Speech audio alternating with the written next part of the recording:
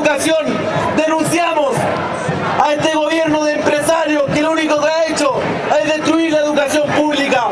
Es por eso que convocamos ahora una movilización ascendente, a una movilización social en la cual los estudiantes, los trabajadores, los profesores y los secundarios vamos a construir una alternativa al, al neoliberalismo